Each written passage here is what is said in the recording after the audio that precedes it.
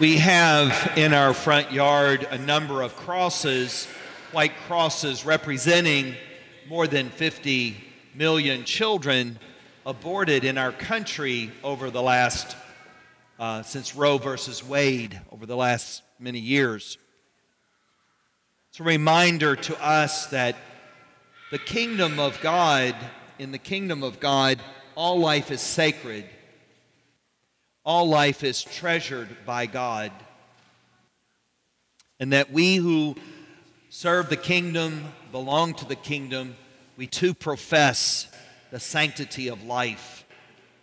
This past Friday night, we were invited to go to the cathedral in Louisville and join the March for Life, just as it's happening in Washington, D.C.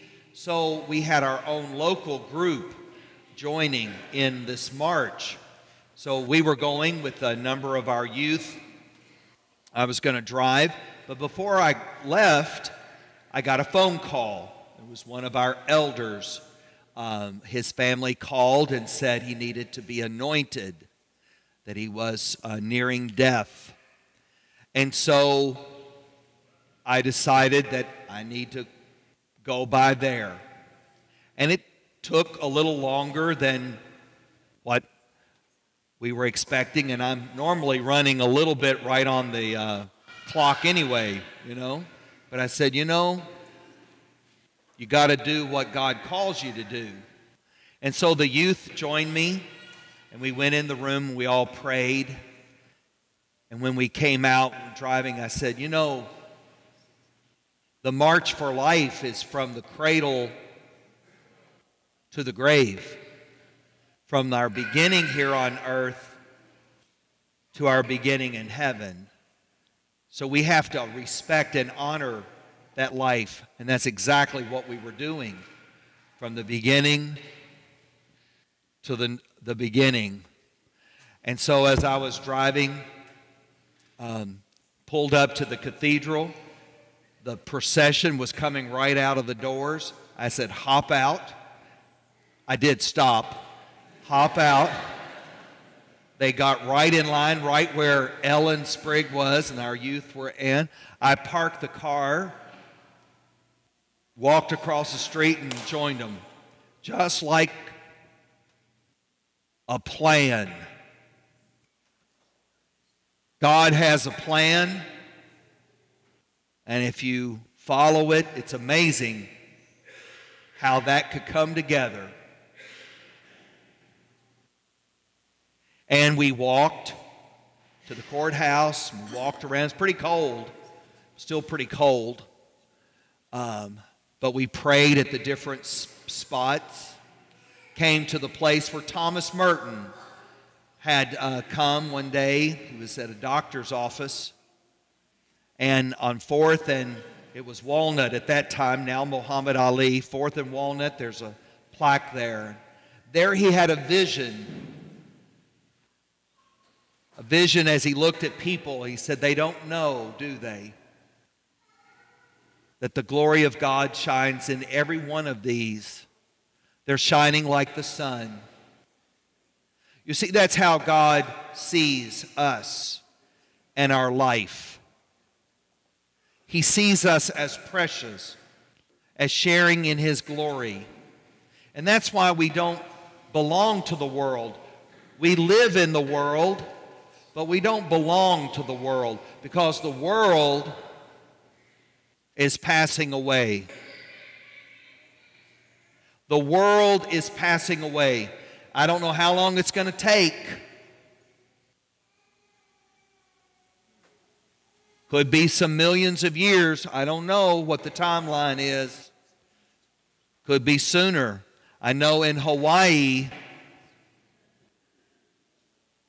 There was a threat, wasn't it? Of annihilation. It'd be the end of that part of the world, wouldn't it? You see, we don't belong to the world. We live in the world, but we don't belong to it. We belong to the kingdom of God. That's the gospel. That's the good news. Now, Jonah, we heard about Jonah today. He was one man, wasn't he? Called by God, though, to preach about repentance. What difference does one person make? John the Baptist was one person, preached repentance, coming of the kingdom. He was imprisoned and executed, but he's remembered today differently than Herod was and is. Twelve apostles, fishermen, tax collector, zealot. What difference can they, could they make? We see them right here, don't we? We look up to them because they serve the kingdom of God, most unto their own death. You see, what difference do you and I make? We're just one person. But with the power of God, each of us make a difference. Each of us has a, an effect upon the world. And with God's grace, we can participate in the kingdom. Because if you're not connected to the kingdom, then what are we connected to? And is it going to pass away? So, Super Bowl of Caring,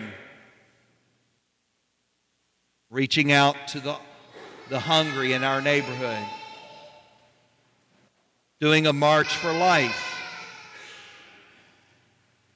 room in the inn. You know, Margaret Mary and I went to the room in the inn this past week. Hard to get that out of my head. I think about, you know, the homeless are faceless people, nameless people for the most part. But I know the faces and the names of some of our homeless in our community and the sacredness of their life. What difference can one person make? All the difference in the world through Jesus Christ, our Lord.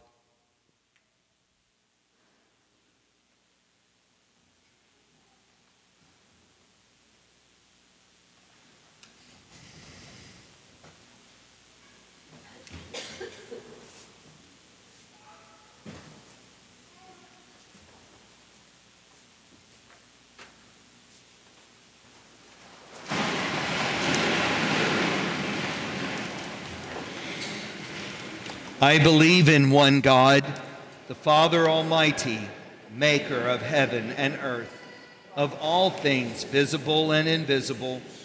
I believe in one Lord, Jesus Christ, the only begotten Son of God